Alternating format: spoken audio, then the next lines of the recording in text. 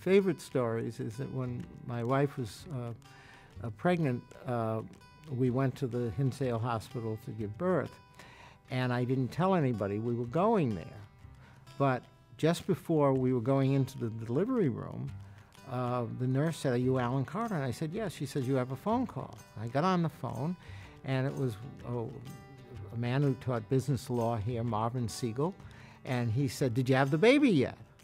I said, Marvin, how do you know I'm here? He said, Well, I called the house and there was no answer, so I figured you had to be there. I said, Marvin, I'll call you back. We're going in now. When we went in, had, had my son.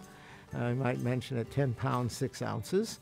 Uh, and then I came out and I called the college, and the operator answered the phone. And I said, uh, Marvin Siegel. And she said, Allan? I said, Yes. Did you have the baby yet?